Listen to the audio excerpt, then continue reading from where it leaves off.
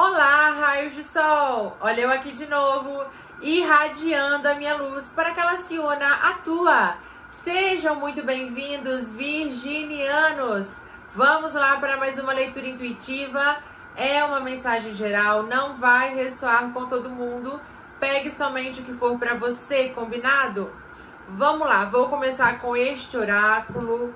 Vamos ver uma energia inicial e depois vamos aprofundar com o tarô.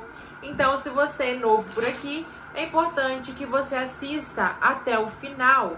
Na descrição do vídeo você também encontra todas as informações referente ao canal que você possa precisar. Combinado? Então vamos lá.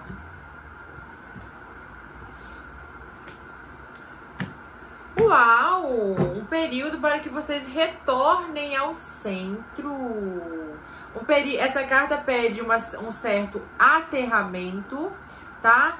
Mas também peça, pede para que vocês retornem ao equilíbrio de vocês, ao próprio fluxo, ao próprio centro de vocês, sabe? É quando você sai de algumas distrações e volta para o seu propósito sai de algumas confusões e volta para sua paz, sabe? Eu paro de me expor, eu paro de me perder, eu reconheço o que é meu e o que é do outro, né? É quando você, essa carta me remete, quando você se ancora na sua verdade.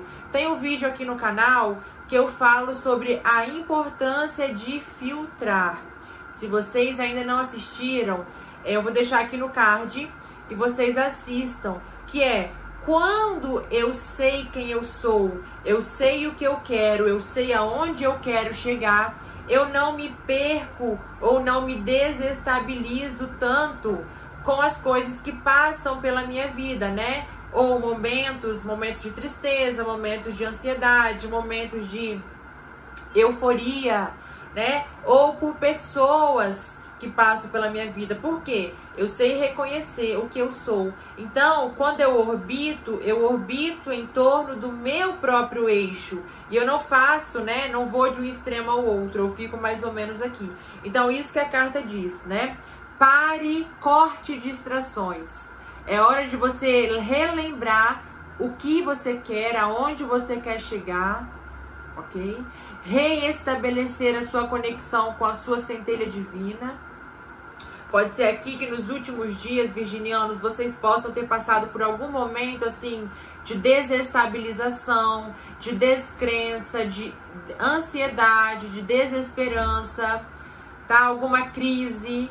Então é, é, é assim, retorne para o seu eixo. Retorne para o seu propósito, retorne para sua rotina de meditação, para sua rotina de, de orações, ok? Para os seus mantras, né, de conexão com o seu eu divino, tá? Essa carta é uma carta também do elemento terra, tá? Então, pode ser uma necessidade de aterrar, sair do mental, né? Posso ser que eu estou querendo fazer muita coisa, minha mente não para, sabe? Tô tendo exaustão, é... Sabe quando seu corpo fica cansado porque a mente não para? Alguns podem estar passando por isso. Então, assim, saia, silencie a mente, ancore o seu corpo aqui nessa realidade.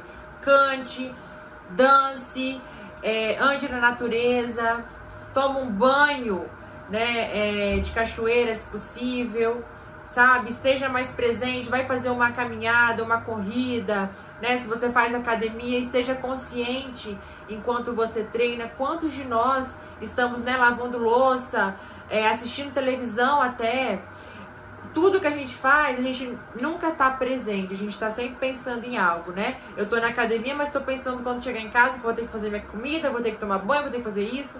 Eu tô lendo, mas tô lembrando que eu tenho que fazer não sei o que depois, sabe? Então, viva o momento presente, tá? É a primeira energia para vocês. Vamos ver o que mais aqui. Quatro de espadas e as de pentáculos, né? O quatro de espadas é um tempo para si, é um tempo por descanso, é um tempo de pausa para que você cure alguma dor, para que você se reestabilize, é um tempo para você para que você possa ressurgir com mais verdade, para que você possa realmente dar início a esse novo caminho, ou essa nova proposta, ou essa nova possibilidade que você vai receber aqui, né? Ou até para que você ressurja, né? Você se dá um tempo para curar-se, você se dá um tempo para entender algumas questões, mas depois disso você ressurge com uma força, sabe? Com uma determinação. É por aqui que eu vou, e é aqui que eu vou construir o meu império, e é aqui que eu vou me estabilizar, sabe? E olha aqui o três de paus. E eu tô sendo guiado pela espiritualidade, eu vou atrair o que eu quero, sabe? Eu confio no meu magnetismo pessoal, eu atraio o que eu quero eu entendo isso, tá? Eu tô de olho no horizonte e aqui ninguém me para.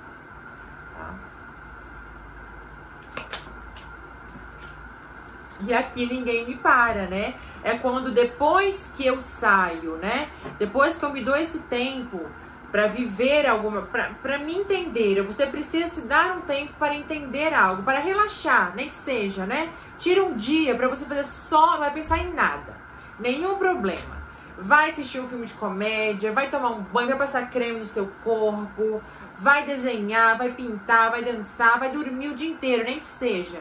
Mas tire um dia no final de semana, quando você puder, para ser aquele dia assim, zen, que você vai assim se reerguer mesmo das cinzas, para que você retorne com força total para ir rumo ao seu triunfo, para ir rumo ao seu sucesso, tá?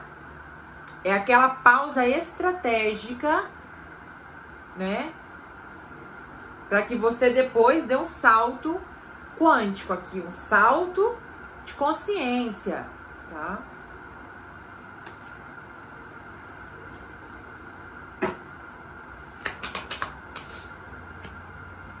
A lua. Sete de paus quatro de pentáculos. Aqui é assim, eu preciso defender o que eu acredito, eu preciso defender o meu espaço, de repente estou me sentindo sobrecarregado por isso, tenho medo de perder. Eu, aqui eu estou sentindo uma sensação de alguém que sente que está perdendo tempo. Então eu preciso fazer, eu preciso acontecer, eu sinto que o tempo está contra mim, eu sinto que as pessoas estão contra mim, eu sinto, eu sinto que as circunstâncias estão contra mim né? E. E eu, eu fico ah, incessante, assim, sabe? Eu fico o tempo todo na defensiva, tá? Porque na verdade eu estou preso ou presa em uma ilusão, sabe? É uma dificuldade de, ab de abrir mão. Pode ser com essas duas cartas juntas, me remete a uma crença em relação ao dinheiro, sabe? Eu tinha uma crença em relação ao dinheiro Vou contar para vocês que toda vez que eu me imaginava tendo muito dinheiro, eu logo em seguida me vi uma cena onde eu era roubada. Porque inconscientemente eu tinha, eu tinha associado a riqueza ao é, roubo. Sabe esses casos que a gente vê? De, ah, fulano ganhou não sei quantos milhões na loteria, foi sequestrado morreu. Fulano ganhou não sei quantos de herança, roubaram a casa dele, fizeram não sei... Eu tinha essa crença por conta de algum caso que eu não sei ainda, se foi na televisão, se foi que eu presenciei, não sei. Mas eu tinha essa crença. Então, toda, toda vez que eu me imaginava numa casa bonita, num carro dos meus sonhos, vinha logo em seguida alguém me machucando, alguém me tirando de mim aquilo que eu tanto sonhei, sabe? Tirando de mim a minha abundância. Então, pode ser aqui que alguns de vocês tenham uma crença semelhante, sabe? Ah, eu prefiro não ter muito, porque se eu tiver muito, eu vou despertar olhares de pessoas que vão querer me fazer mal. Eu, vou, eu não vou ficar segura, eu não me sinto seguro tendo muito. Eu acho que vou ficar muito exposto, então é melhor não ter nada, porque eu passo batido. Sabe? Pode ser uma crença limitante.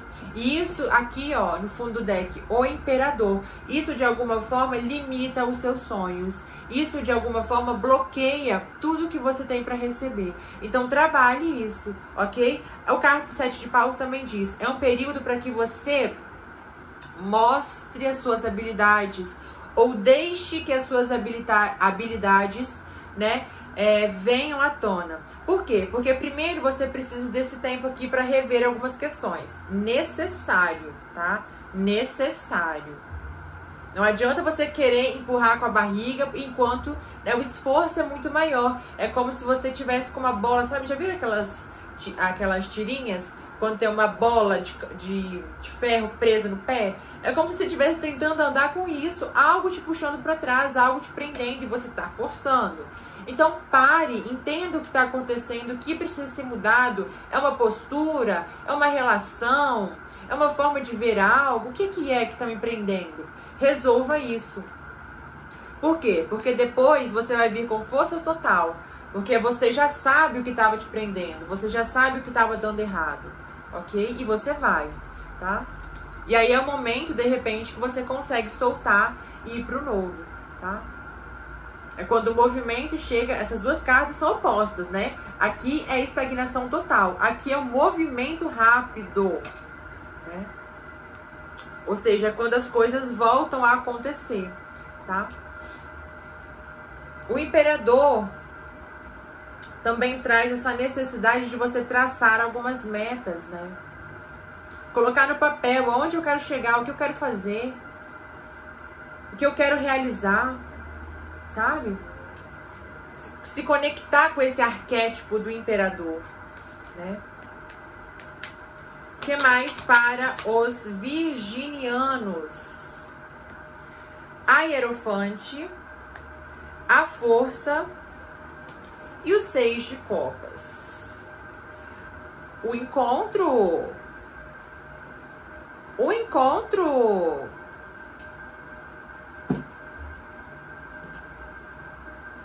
uma nova parceria, um novo amor, né? Mas que vem depois, ó, de você rever alguma coisa. Olha aqui, o cinco de espadas. O cinco de espadas é quando eu olho as partes que eu também errei. É, eu olho os mecanismos que estão em mim, que eu também continuo fazendo, que não estão me levando a lugar nenhum, que estão me prendendo nessa situação. Né? É, quando, é um processo aqui, a carta do cinco de espadas, é realmente um processo de autoanálise tá? E aqui nós temos a Hierofante e a Força, ou seja, duas cartas muito espirituais, né? A Hierofante pode representar, inclusive, você entendendo, tendo uma nova percepção de vida, tendo algum guru, né, é, físico, tá? Que tá te orientando, que tá, que você busca sempre apoio, respostas, né? Que foi um aliado espiritual que, que Deus colocou na sua vida para essa jornada mas pode representar também os seus mentores, os seus guias espirituais falando com você. E são eles que estão te mostrando, de repente, querendo te ensinar uma nova forma de reagir, uma nova forma de agir, uma nova forma de se posicionar, né? Porque a Hierofonte traz esse negócio, essa questão do de eu ensino e eu aprendo. Ou seja, o que a vida está querendo te ensinar que você não está aprendendo né? De repente, qual é a lição que eu não aprendi que ainda está me prendendo nessa situação que eu não gosto, que eu quero mudar? Mas se eu faço de tudo e não consigo mudar, peraí. Se eu tô continuando nessa situação, o que, que é que eu tenho que aprender aqui que eu ainda não aprendi? Qual é a percepção que eu tenho que ter aqui que eu ainda não tive? Esse que é o seu questionamento. Não é, ai meu Deus, por que que eu tô? Por que que não chega essa pessoa que eu tanto sonho? Por que, meu pai, que não chega? Por que que eu não consigo, né, mudar de emprego? Não, peraí. Qual é a crença que eu ainda tenho que tá me mantendo aqui? Qual é o hábito que eu ainda tenho que tá me mantendo aqui? Peraí, tá? Então é quando você percebe isso e você consegue deixar para trás a situação sabe? E aí você até vai rir de si mesma. Poxa, eu o tempo todo achando que o problema era tal coisa e na verdade era só essa coisa que eu tinha que mudar em mim, né? De repente a forma de reagir a isso, tá? E é quando você entende, é quando você faz as pazes com o seu passado, com a sua jornada, né? É quando você se cura de algo do passado e você consegue é, olhar para frente, você consegue iniciar uma nova caminhada, uma nova parceria, um novo namoro, ok? Vamos ver o que mais para vocês aqui, virginianos.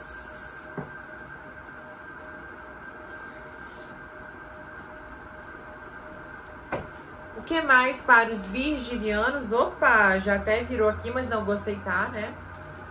Baralhar um pouquinho mais. O que mais para os virginianos? Vamos lá. A reflexão. Gente, parece brincadeira, né? A reflexão junto da carta do quatro de espadas. Ou seja, eu realmente preciso tirar um tempo para mim. Eu realmente preciso tirar um tempo para que eu reveja, né? O que é, né? Um contato com a natureza, rever as emoções, tá? Repensar algumas coisas. Sabe? O que a minha intuição tá me dizendo eu não tô ouvindo tire realmente um dia para você, tá? Para você recuperar, olha aqui, o seu bem-estar, né? O As de Pentáculos é quando você entende assim, não é circunstância, não é, é a, a, situação ou a pessoa que está na minha vida, é o meu estado de espírito, é a minha forma de reagir ao que está me acontecendo. Então, se eu não posso mudar o que está me acontecendo, eu mudo a forma que isso me atinge. E quando você muda a forma que isso te atinge, Gente, você se torna imune a essa situação. Então, se tem alguma pessoa que sempre te provoca e você cai, para de cair. Se tem uma situação que sempre te machuca e você se permite, se permite machucar, para de se permitir. Sabe? É quando você faz um trabalho interno de uma tal forma que você consegue passar pela situação que te machucava sem ser atingido. É quando você entende aqui, ó, que a abundância vem de dentro, a plenitude vem de dentro. E aí nós temos inclusive novas comunicações, ó, junto do carro. Né? É como se fosse aqui um estado mental ou sentimental seu que está bloqueando seu avanço virginiano, tá? Pode ser realmente, é... enfim, tá? Mas aqui nós temos uma mensagem chegando para você, tá? Uma nova proposta, uma resposta, um convite, é você analisando uma comunicação que chegou, tá? A possibilidade de ir para algum lugar, né? Olha aqui, reconciliação. Caiu junto do, da mensagem. Pode ser você analisando a proposta de um ex, tá? Só que a reconciliação vai ficar aqui na minha mesinha. Junto com a carta de quem? da lua, né? Porque eu vou colocando assim na ordem. Então, olha aqui, pode ser que você vai ser testado aqui, virginiano. Então, cuidado para não cair no conto do vigário. Olha aqui, porque o que vem do passado, de repente, está ainda com muitas projeções. Então, pode ser que você esteja esperando algo de alguém que não está pretendendo te oferecer o mesmo que você espera. E aí o que acontece? Vem novamente a desilusão, a decepção. Então, realmente, analise se vale a pena, tá? Porque a reconciliação aqui está junto das ilusões. Ou seja, por mais que você queira, não, Isabelle, eu quero ficar com essa pessoa. Eu sinto que é a minha pessoa. Então, meu amor, o que você precisa fazer? Olhar, buscar com todas as suas forças, olhar para essa pessoa com verdade. Não é olhar só para os lados bons. Né? Faça uma lista. Quais são os defeitos que essa pessoa tem? Quais são o, o que essa pessoa fez para mim que me machucou? Anote. Faça uma lista. Depois você faça uma lista. Quais são as coisas boas que essa pessoa me ofereceu? Faça lista. Compare. Vale a pena? Aí você que vai chegar à conclusão. Tá?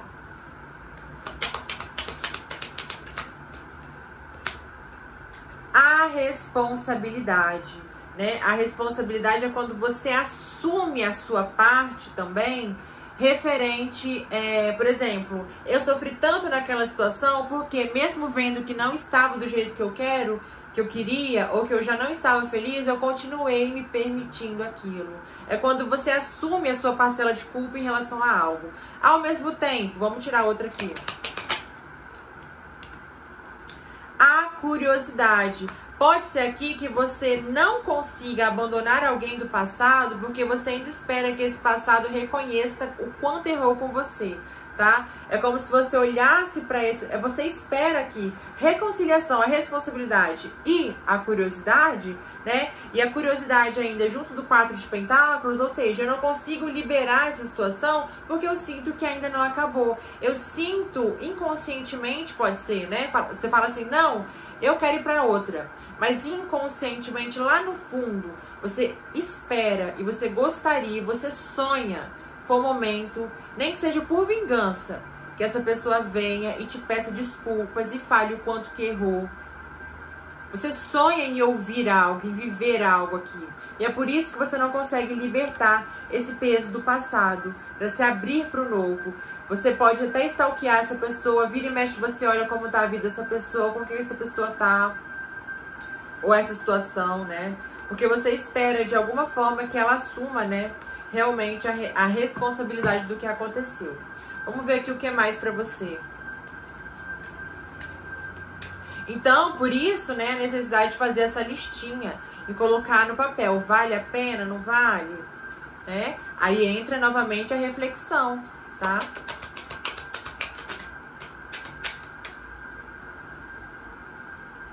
A caridade, né? Junto da hierofante, ou seja, muito, algo está lhe sendo oferecido, tá? A espiritualidade colocando alimento nas suas mãos né? Você tendo a possibilidade de aprender é, novos costumes, novas culturas, novas filosofias. Você está tendo a possibilidade, a espiritualidade te dando pão. Ou seja, o pão é o alimento, mas é o alimento da alma, sabe?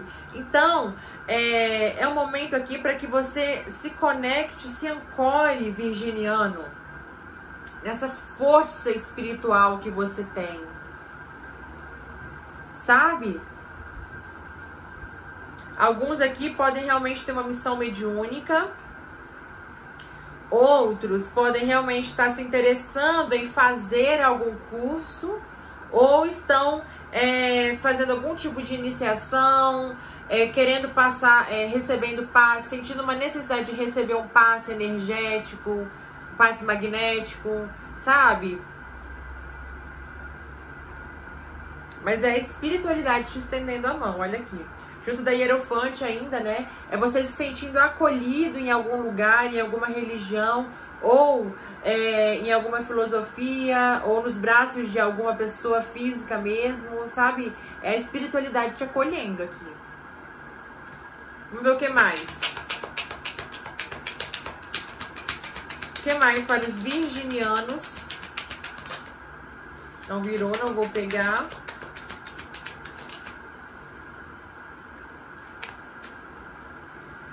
amor singular.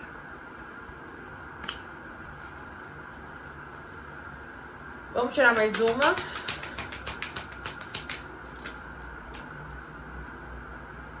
A inocência. A verdade nua. Aqui o que eles estão dizendo? Virginiano, você pode, você até pode ter uma conexão de alma com essa pessoa, tá? Pode ser uma alma afim, né? Nós temos muitas almas afins. Então, também, primeira coisa, não ache que essa pessoa é a única alma afim sua. Sai disso. Essa é a maior balela, ok? Nós temos várias, centenas de almas afins. Então, não acho que tudo está perdido porque com essa pessoa não rolou, tá? Tem outras, muitas outras. Aqui nós temos a carta, a carta da força e do amor singular. O que me diz assim, a espiritualidade é, até tentou, né? Colocou, como que eu posso dizer? Da mesma forma que ela te estendeu a mão, te mostrou novos caminhos e você entrou, ela fez isso com essa outra pessoa, mas essa pessoa não teve as mesmas atitudes. Essa pessoa não buscou se aprimorar como você buscou. Então causou aqui uma disparidade energética, uma disparidade mental, uma disparidade emocional, ou seja, não, não encaixa mais. Não encaixa mais. Então, por mais que essa pessoa retorne, ela teria que correr muito atrás ela teria que buscar muito conteúdo, ter várias catarses para que ela entrasse em alinhamento energético com você. Porque a carta do amor singular fala de amores quase impossíveis. Porque há diferenças em é, costumes, em circunstâncias, até geográficas, de repente, não sei. Há muitas diferenças que causam um distanciamento muito grande. Sabe? Uma união quase improvável. Mas você aqui, inocentemente, acredita. Né? Tem uma inocência sua, que tem um lado seu que quer acreditar, que quer se entregar, que quer esperar de repente, sabe? E aí aqui a carta da verdade com amor fugaz, ou seja, de repente seja uma ilusão que está te prendendo energeticamente a essa pessoa. É hora de você retirar alguns véus e se libertar, parar de insistir nisso daqui, porque por mais que a espiritualidade não está falando que você não vai ter uma nova chance com essa pessoa. O que a espiritualidade está dizendo aqui é que agora não vai rolar. Porque a diferença é muito grande. Você, aí você fala assim, não, eu quero, então vai. Aí você pode quebrar a cara de novo, mas vai, a escolha é sua, o livre-arbítrio é seu. Mas aqui o que a espiritualidade está dizendo é hora de você olhar, investir, sabe? Se entregar a outras coisas. Pode ser que lá na frente, daqui uns meses, anos, essa pessoa retorne, né? Com as lições aprendidas. E aí vocês já estejam mais equilibrados energeticamente. E aí possa sim acontecer esse encaixe, essa união, esse encontro tão esperado. Tá? Mas agora não é o momento. Isso aqui pode ser resposta para alguém, né? Tá? Então, cuidado, por quê? Porque o ex pode, pode ressurgir aqui das cinzas mandando mensagem. Só que é uma ilusão. Sai o Ju da carta da lua para não deixar dúvida de que é uma ilusão tá? Cuidado para não ser... Ma... Lembra que naquela hora que eu comecei a tirar esse deck aqui, virou uma carta e eu não, fal... e eu não aceitei? Era a carta da malícia. E agora saiu a carta da inocência. Agora eu entendi por que, que a malícia quis sair. Por quê? Porque você tem uma visão muito... Você tem uma tendência a ser bom. Já viram aquele. Está aquela frase? A sombra da bondade. A sombra do amor é a bondade. Porque se você quer ser bom demais, as pessoas se aproveitam de você. E aí, quando você é bom demais a ponto de abrir mão da sua paz, da sua felicidade, da sua alegria, do seu bem-estar para ajudar o outro, para insistir em alguém que não está te demonstrando melhoras, você está tendo uma bondade associada à tolice, não é uma bondade associada à sabedoria. Então você precisa aqui ter mais malícia em relação a alguns assuntos, em relação a algumas pessoas, porque você cai em cada conto do vigário virginiano. Desculpa, eu preciso te dizer. Mas é porque o seu coração é bom demais, o virginiano. É bom de... Eu? Eu tenho lua e Vênus em Virgem. Então eu sei do que eu estou falando, né, virginiano? A gente às vezes cai em algumas coisas que eu vou te falar, né? A gente tentando ajudar, depois passa semanas, meses para se recuperar de um tapa que a gente levou, né? Mas enfim. Vamos lá. Pratique a gratidão pelo seu passado, pela sua caminhada, pelas pessoas que cruzaram seu caminho. Sem elas, você não estaria onde está agradeça e siga em frente. A outra, o fato de você escutar apenas o que quer ouvir e enxergar somente o que quer ver pode lhe trazer a falsa ideia de que está tudo bem. Olha aí, né? Aqui pode ter algumas pessoas que não querem ver a verdade de alguma situação de alguma pessoa, né? Enfim, virginiano, até esqueci de falar com vocês. Me sigam lá no Instagram, arroba irradiar-se. Senta o dedo no like aqui embaixo, comenta, compartilha, se inscreve caso você não seja inscrito. É muito importante aqui para o crescimento do canal e para que esse vídeo chegue a mais pessoas, a mais corações aflitos que podem receber um carinho, um afago para deixar o coração quentinho. Então faça a sua bondade, a espiritualidade também é troca. Ok? Não custa nada você dar um cliquezinho ali embaixo e curtir, ok? Você pode mudar a minha vida e a vida de muitas pessoas, tá certo? Um beijo, nos vemos no próximo vídeo, até lá!